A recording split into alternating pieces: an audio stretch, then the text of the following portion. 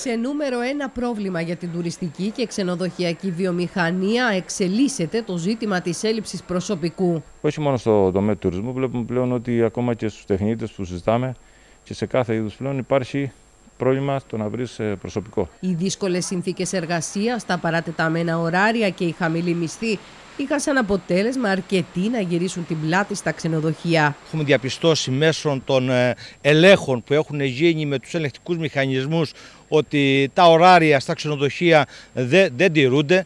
Δυστυχώς οι εργαζόμενοι δεν μπαίνουν ρεπό. Τους δηλώνουν ότι δουλεύουν 6 ώρα στο πρόγραμμα ενώ δουλεύουν πάνω από 8 ώρες. Επίσης, σε ένα μεγάλο ποσοστό ξενοδόχων, ξενοδοχείων δεν τηρείται η τοπική συλλογική σύμβαση εργασίας και δεν τηρείται ε, γενικότερα η συμβάση εργασίας. Οπότε πηγαίνουμε συμφωνίες. Θεωρώ επίσης ότι πολλοί κινήθηκαν εν μέρει σε μαύρη εργασία, παίρνοντας ίσως και κάποια επιδόματα, το ξέρουμε και αυτό, αλλά αυτά σιγά σιγά θα, θα κλείσουν. Η πανδημία του κορονοϊού και η αβεβαιότητα γύρω από το τουριστικό προϊόν ανάγκασαν πολλούς να αλλάξουν επάγγελμα, στέροντας από τον κλάδο έμπειρα και ικανά στελέχη. Δυστυχώς η τουριστική περίοδος ερικνώθηκε.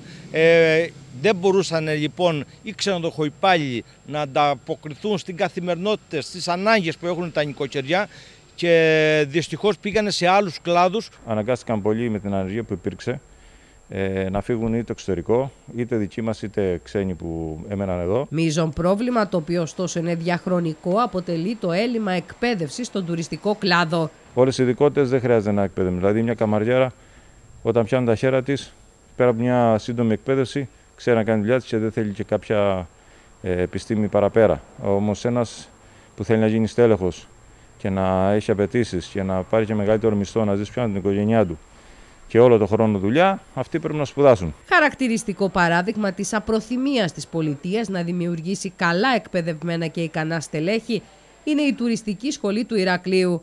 Το κτίριο της παραπέει και οι σπουδαστές της από την ημέρα του μεγάλου σεισμού της 27 Σεπτεμβρίου κάνουν μάθημα, ακόμη και τα εργαστήρια μέσω υπολογιστών. Αυτές οι σχολές βγάζανε 200-300 κάθε χρόνο σχεδόν, αν θυμάμαι καλά, ε, καλούς επαγγελματίες. Παλιά ήταν αλλιώς τιμένο. Μετά το αδράνησε όλο αυτό. Εδώ πρέπει να συμβάλλει ε, η κυβέρνηση, το Υπουργείο Τουρισμού, να, να βρεθούν αυτές οι δαπάνες, να, να, να βρεθεί χώρος και να, πραγματικά αυτοί οι σπουδαστές είναι ανάγκη η εκπαίδευσή τους να γίνεται ε, επιτόπου.